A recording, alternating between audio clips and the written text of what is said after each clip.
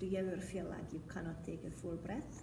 Well, let's open up the rib cage on both sides. I will demonstrate only one, but you can do it on the other side. Cross your legs, sit nice and tall. Take your right hand onto the floor and take your left arm up. Inhale, reach up to the fingertips. Exhale, take a full side bend. Notice the tapes on my shirt. There is one pink over my lower abs. On the side, one orange over my 14 ribs and two pink under my armpit. These are the areas where we're going to take the breath in. So first breath, huge breath in, we're going to expand to the first pink stripe.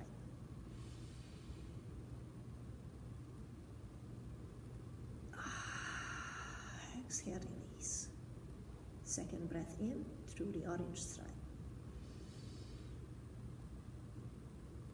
Expand, expand through the floating ribs. Exhale.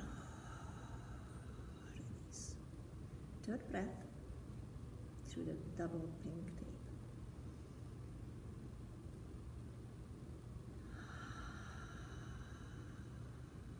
Exhale, release.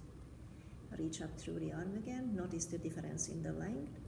And then fully side bend. And also notice the difference in your side bend. Huge breath through the left side of the body. All the tapes are involved.